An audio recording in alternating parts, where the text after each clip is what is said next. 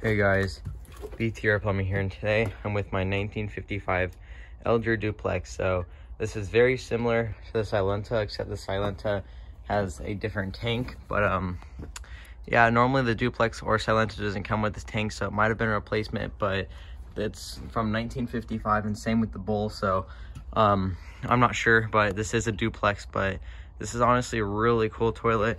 It's still a little bit dirty. I had to restore it a whole bunch because I got this from an abandoned house and um, I'll tell you what, this thing was com almost completely black and there was a lot of stuff in the bowl that was really disgusting if you guys know what I'm talking about. So I probably won't be showing you what this looked like before because YouTube might get a little bit upset with it because it wasn't, it's not pleasant to look at, I'll tell you that. But this thing cleaned up fairly nicely and it's still got a lot of work to do. But um, yeah, this video will probably be the next video of the 1975 Yellow Kilgore.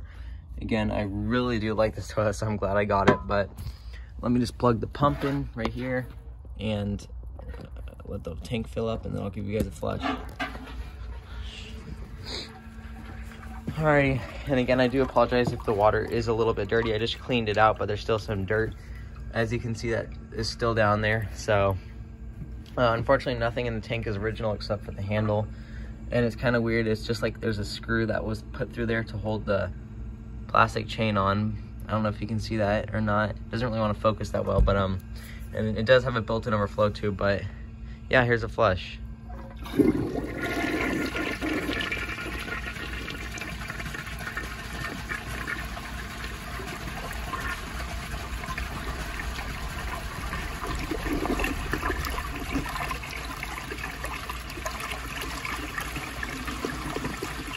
When it flushes, all the water drains in the tank because if you see this, once the water fills up in there, and I'll show you now when you flush it, that water actually holds it down. So it allows all the water to empty in the tank and it closes once all the water empties from that little um, container there. So I'm gonna do kind of like a half tank flush.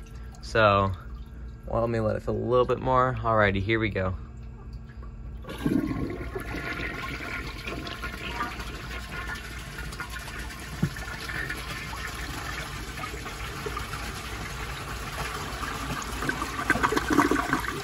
I really love the design of this toilet, especially with that little whirlpool jet there. I think it's really cool, or vortex jet, whatever you want to call it. Um, the bowl is a little bit dirty, so I apologize. It, it rained not too long ago, so it splashed up a bunch of mud, as you can see on all the toilet bowls. But yeah, um, and I'll give you a side flush like this.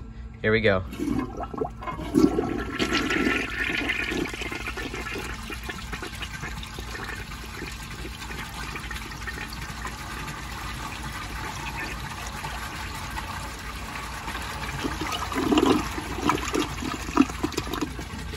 Alrighty, so let's see. I'm gonna let the tank fill up. I'm gonna see if I can get almost all the water out of the bowl so when I flush it, you'll see the vortex jet. You might be able to see a little bit now.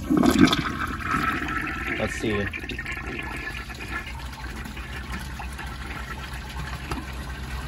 Let's see if this will siphon.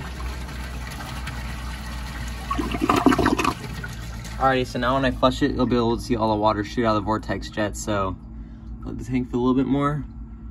Alrighty, here we go.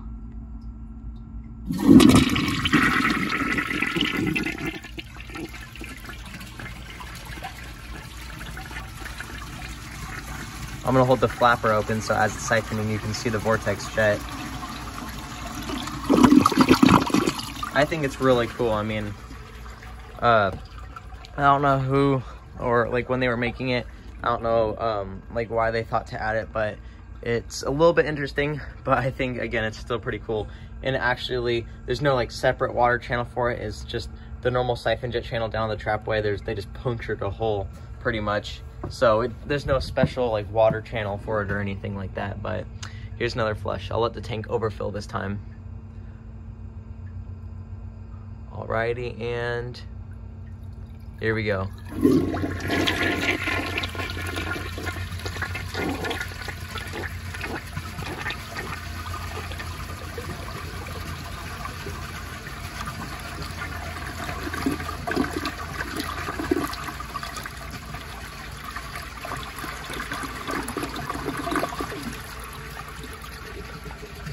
And wow, that was a really long flush. And I don't know if you're able to see that really well. And sorry if my hair keeps getting in the way.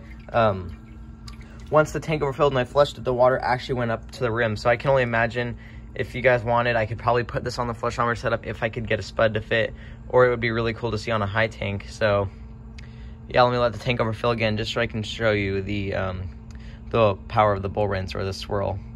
And there's some text there. It's not really readable, but once I clean it, you should be able to see that. Alrighty, here we go.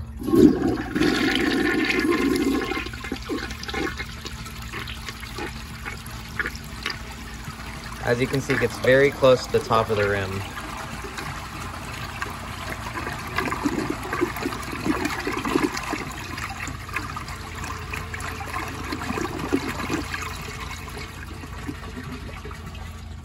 All right, so let me fill up the bowl again really quickly.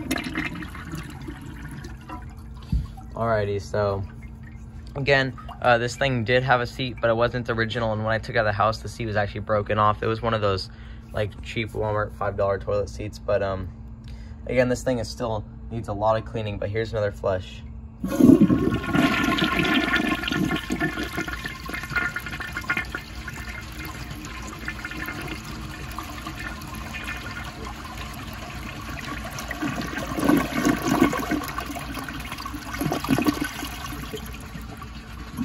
Gonna fill the bowl back up. But this is honestly a pretty cool toilet. And if there's anything else you want to see with it, let me know. But yeah, I hope you guys enjoyed this video. If you did, please like, subscribe, leave all your comments down below. And I'll see you guys in the next video. Bye.